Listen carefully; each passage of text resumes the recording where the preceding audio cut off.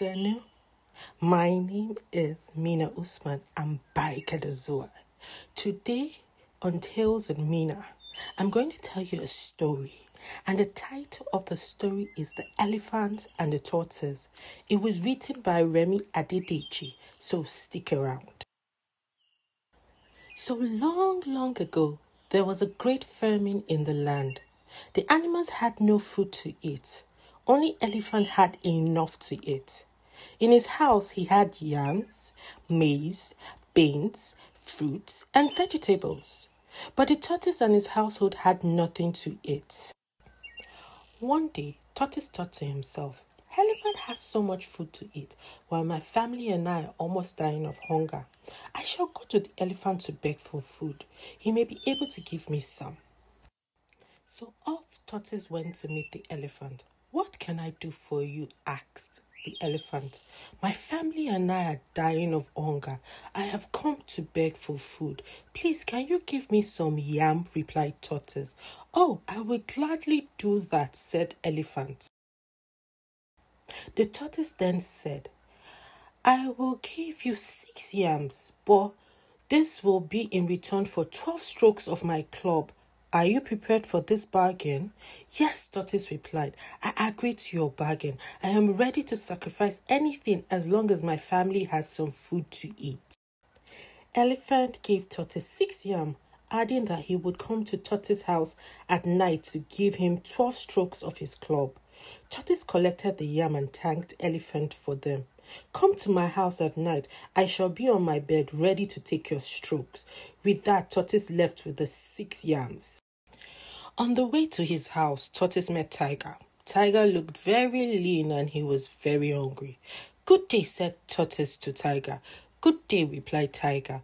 Where are you coming from with six yams? asked Tiger. I am coming from my farm, replied Tortoise.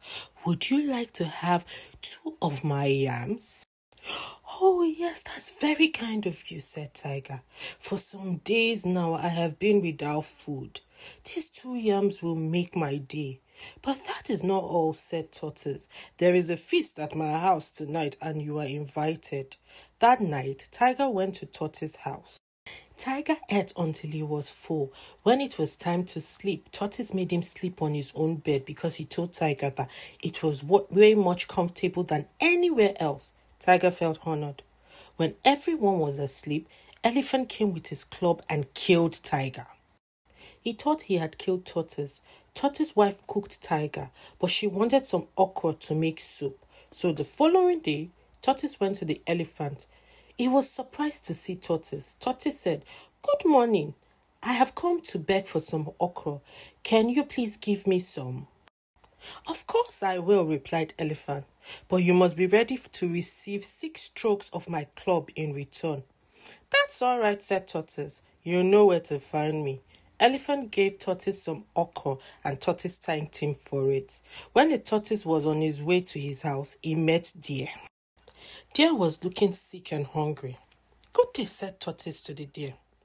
Would you like to come to feast at my place tonight? Of course I will, said Deer, that had been looking for a place to eat. I shall be expecting you, said Tortoise. That night there was another feast at Tortoise's house, and Deer was there.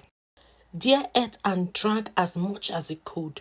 At night, Tortoise led Deer to his own bed. So Deer laid on Tortoise's bed.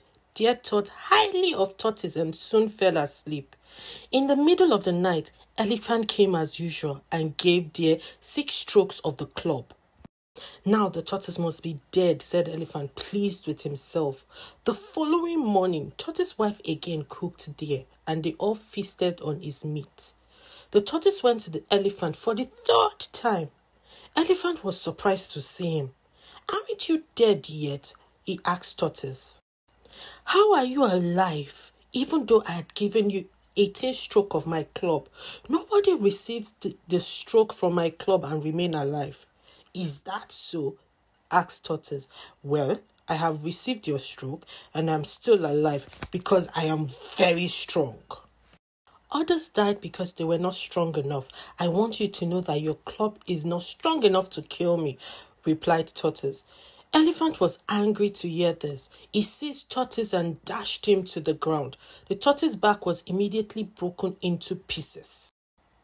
The tortoise then begged the ant to put back his broken pieces. The ants were kind to him. They picked up the broken pieces and put them together. But the tortoise's back was never the same again. His back, which was once round and smooth, became very crooked. What do you think the moral of the story is today? You can share your comments below. Well, that's all for today. Thank you for listening. Join me next week as I tell you more tales from Moonlight Stories. Make sure you subscribe to my YouTube channel so that you never miss an episode. Say Gobe and stay blessed.